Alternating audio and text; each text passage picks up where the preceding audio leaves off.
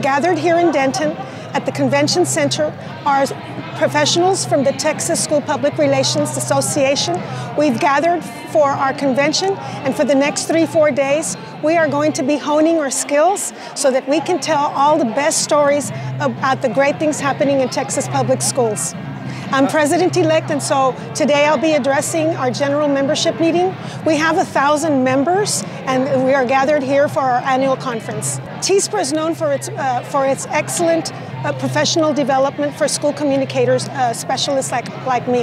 We have a little bit of everything for people in public relations, in uh, instructional television, um, people like us. I'm really proud to be representing Laredo ISD and all other public school districts across the state of Texas.